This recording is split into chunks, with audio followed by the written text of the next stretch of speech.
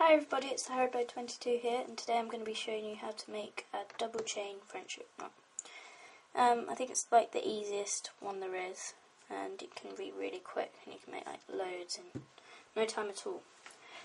Um, today I'm going to be using embroidery floss, like these, you can pick up from craft shops, and yeah. So what you're going to need for this are two colours, you can use more than two colours, but two colours if you're beginning. Three strands of each colour, probably say about as long as your arm, each one. And you can tie a knot at the top, so you can tie it off the end, like that, and then clip it some to something or tape it. And you're going to need to lay your colours out. Um, I'm using pink and green, so pink on one side, green on the other side. And that's it get, go yeah, let's get started.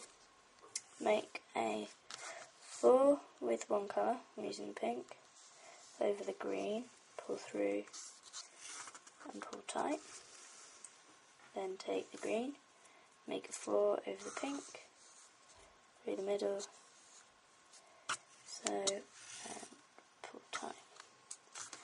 Then take the pink again and pull tight. You're just sort of alternating with your colours here. You're just going to follow that pattern. So, four, pull tight. Um, you can use different threads like wool or craft thread.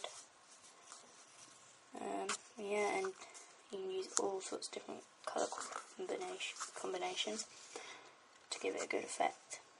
And four, Right, so you're just repeating that pattern um, until your bracelet is as long as you like. Right, so now I've got um, the bracelet to the length I want it. I'm just going to quickly tie off the ends like that. And whoop, there we go. You have your double chain knot bracelet. And then just plait the, plait the ends or something and you have your friendship bracelet. Thanks for watching. Comment, rate, subscribe.